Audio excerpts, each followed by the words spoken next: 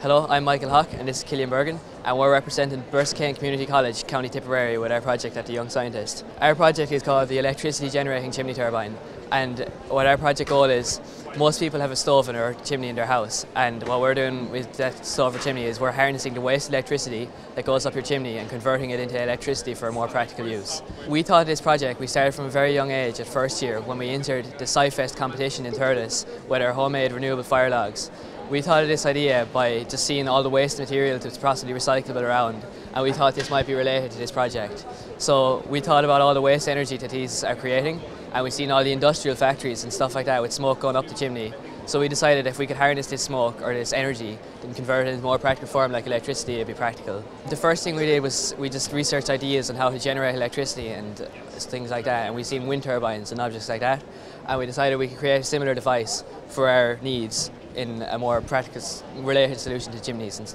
we made a few models and prototypes and then we just figured out which one works the best. This can work on any regular stove that anybody could have in their house and we can generate like a significant amount of electricity out of this turbine and even if you have your stove running for a good few hours and things like that you could generate enough electricity to use for practical things. But also we plan to like upgrade it to maybe an industrial scale where we could use it on factories or even like creameries where it could generate like much more electricity than you can with your average household.